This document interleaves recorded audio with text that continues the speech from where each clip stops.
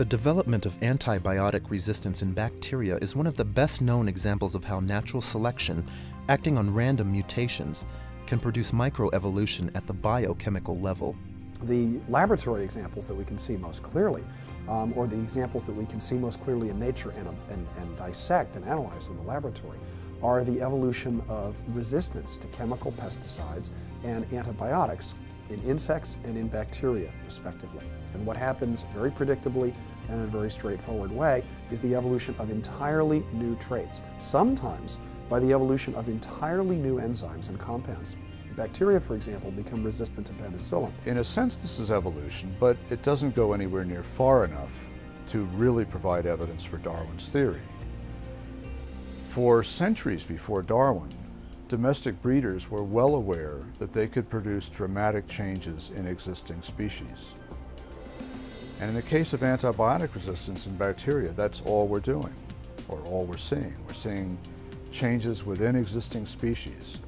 In fact, just recently, uh, a renowned British bacteriologist said that in 150 years of research, uh, although you might expect new species to appear in bacteria before they would appear anywhere else because bacteria reproduce so rapidly. In 150 years, we have seen no new species emerge in bacteria. Well, what Darwin's theory needs is those new species. Antibiotic resistance, in terms of natural selection, is an excellent example. And its use, I mean, it's one of the, one of the um, hallmark examples given in, in microevolution for support of Darwinian thought. However, I think in the, in the last few years, it's got to be reinterpreted to a degree.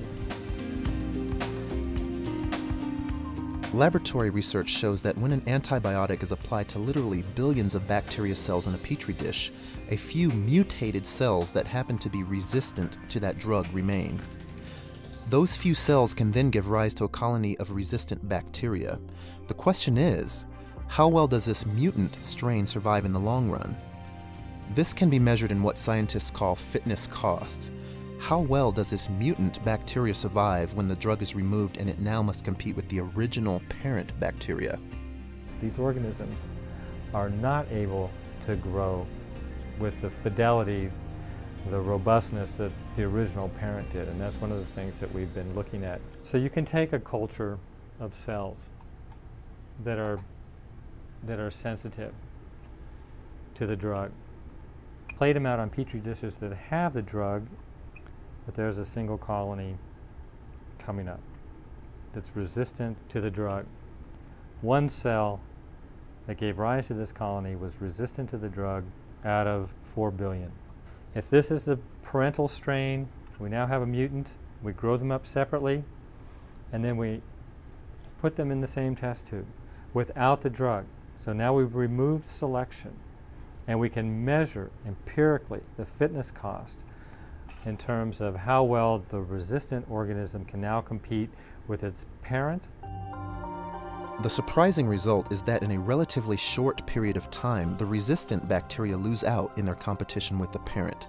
They can't reproduce as fast and over a short time disappear. Within one or two transfers of overnights, you can lose that population of resistant cells. And then after the third transfer, the resistant isolate has been completely outcompeted by the parent.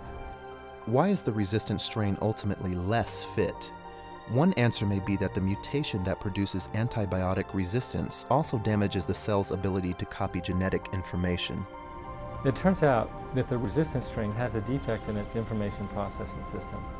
So, these bacteria gain resistance to the antibiotic only by losing another key function they need for survival. That's why in the wild the resistant strain would lose out to the parent type because the resistant strain is actually less efficient overall. We're going backwards in terms of the fitness of these organisms, not forwards, as used as an example of evolution. But defenders of Darwin's theory say that's not the whole story. They point out that new mutations can occur in resistant bacteria that will allow them to recover some of their fitness. These new mutations are known as compensatory mutations.